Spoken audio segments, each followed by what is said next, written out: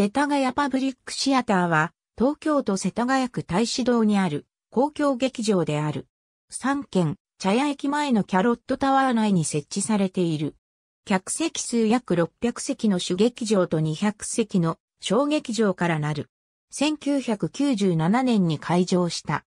現代演劇や舞踊の舞台として用いられるほか、地域の公共劇場として講座形式やワークショップ形式による教育普及事業に取り組んでいる。また、芸術監督、制作、学芸、技術分野における専門スタッフを配置していることも特徴的である。